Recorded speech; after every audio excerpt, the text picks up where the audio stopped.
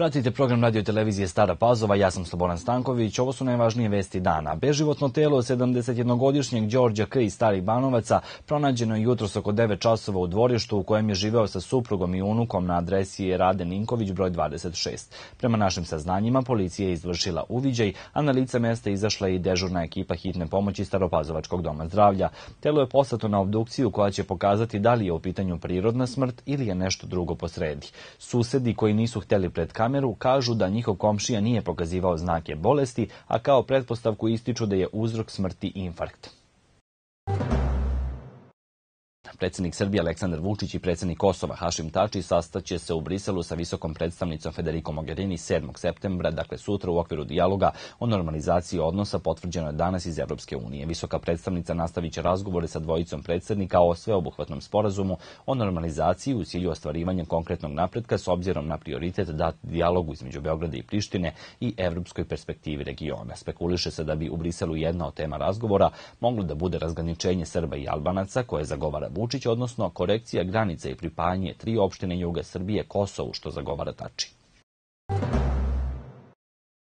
Predsednik Kosovske skupštine Kadri Veselji izjavio je danas da je Priština izdala dozvolu za posetu predsednika Srbije Aleksandra Vučića, ali da ta odluka u slučaju destabilizacije može biti i promenjena. Ministar u vladi Srbije Nebojša Stefanović poručio je danas Kadriju Veselju da je Beograd razumeo pretnje koje je uputio predsedniku Srbije i upozorio ga da ne preduzima nikakve akcije protiv srpskog predsednika. Priština je glavna prepreka za dolazak do kompromisnog rešenja, izjavio je danas ministar spoljnih poslova Ivica Dačić i dodao da ne zna šta se može očekivati od sutrašnjeg dijaloga u Briselu, u kome će delegacije dve strane predvoditi predsednici Srbije i Kosova Aleksandar Vučić i Hašim Tači. Nacionalna služba za zapošljavanje potpisala je 19 ugovora za specijalističke informatičke obuke sa šest različitih ponuđača za ukupno 775 nezaposlenih lica. U prvoj online fazi testiranja testirano je više od 6000 kandidata. Do sada je predato devet lista za izbore za nacionalne savete nacionalnih manjina u Srbiji, izjavio je danas ministar državne uprave i lokalne samouprave Srbije Branko Ružić. Na redovnim izborima za nacionalne savete nacionalnih manjina zakazanim za 4. novembar biraju se 22 saveta, a rok za prijavu izbornih lista je 19. oktobar.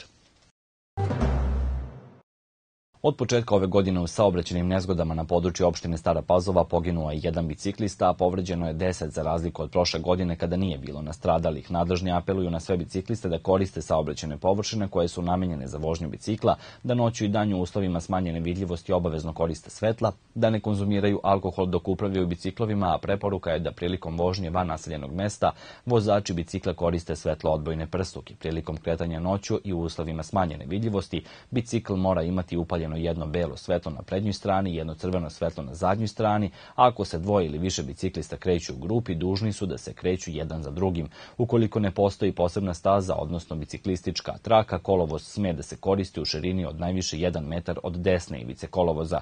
Podsjetimo, polovinom avgusta u saobraćenoj nezgodi koja se dogodila na putu Stara Pazova Stari Banovci, život je izgubila 66-godišnja biciklistikinja iz Belegiša na koju je naleteo automobil. Izložbom Jasne Nikolić u Staropazovačkom centru za kulturu otvorena je nova izložbena sezona. Septembar mesec već poznato predstavlja prelazan period između leta i jeseni, ali sigurno da ima šta ljubiteljima kulture da ponudi, kako starima, tako i mlađima, koje očekuje tokom vikenda jedna zanimljiva i kreativna izložba od Lego kockica. Na veliko iznenađenje svih staropazovčana na pozorišne daske dolazi predstava Priča se po gradu. Premijerno će biti izvedena 28. septembra u kojoj igraju Olga Odanović, Dubravka Mijatović, Sena Đorović i Anastasija Anastasija Mandić. Ulaznica je 800 dinara, a svi zainteresovani mogu da i kupe kartu u pozorišnoj sali u Staroj Pazovi.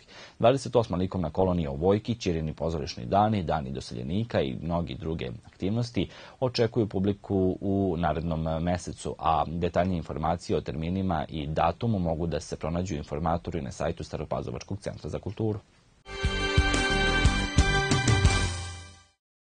Najbolji srpski teniser Novak Đoković plasirao se u polufinalu US Opena, pošto je rano jutro savladao Australijanca Johna Milmana 6-3, 6-4, 6-4. Đoković nije dozvolio Milmanu da se razigre kao protiv švajcarca Rodgera Federera u osmini finala kada je napravio iznenađenje turnira. Srpskom asu ovo je 11. uzastopno polufinalu u Njujorku, gde će igrati protiv Japanca Keija Nishikorija, koji je prethodno savladao Hrvata Marina Čilića.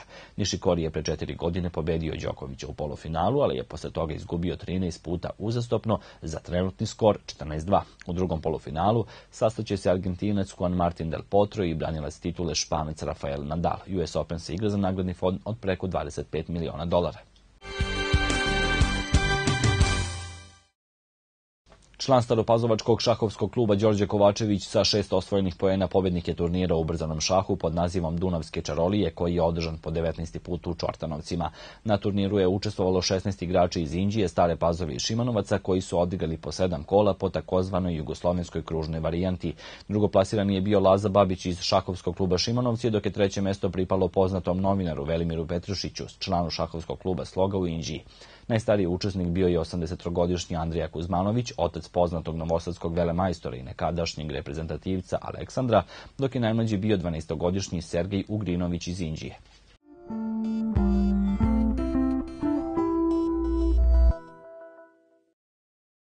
Sutra ujutru mestimično kratkotrajna magla, tokom dana pretežno sunčano uz ređu pojavu kratkotrajnih pljuskova sa grmljavinom, uglavnom u brdsko-planinskim predelima, vetar slab promenljivog pravca, na istoku umeren severozapadni, najniža temperatura od 13 do 17, maksimalna dnevna od 26 do 29. Informacijom o vremenu završavamo vesti, vama hvala na pažnji i ostanite dalje uz naš program. Prijetno!